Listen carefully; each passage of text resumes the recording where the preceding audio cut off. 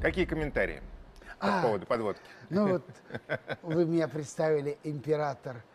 А Да. ведь э, удивительное дело, э, когда я начал репетировать роль императора Домициана Ага. Древнего Рима, сейчас в Театре Моссовета, я еще иду по Москве и думаю, дожил Сухоруков, господи, Орехозуевский какой-то Ой, товарищ. всегда эта песня, как Да, будто да, да. как будто первый император О, этого это- Сухорукова. но- нет, я к тому и веду, что это не убогенькие какие-то мысли и не кокетливые. Но действительно, я когда вторгался в свою творческую жизнь, мечтая стать актером, ну, думаю, ну, буду шмагой, каким-нибудь там Фомой Опискиным, каким-нибудь там э, острохарактерным чертенком. А тут у меня и Павел Первый, и Да. Федор Иоаннович, и генерал-майор, и Хрущев, и Да. сейчас уже дозрел до императора Римской империи. Вот так вот, друзья, дорогие телезрители, никогда не отчаивайтесь.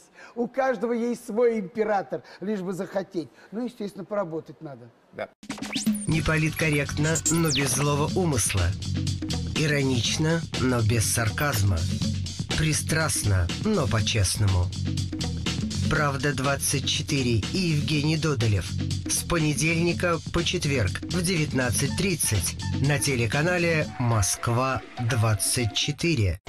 Я просто решил еще один отрывочек из своей беседы, из одной из своих бесед с Виктором Сухоруковым а, здесь оставить, потому что много говорят в последнее время после скандальной беседы а, Ксения Анатольевич Собчака с иностранным агентом Алексеем Вячеславовичем Паниным.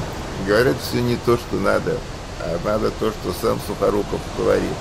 Он собеседник вот такой вот.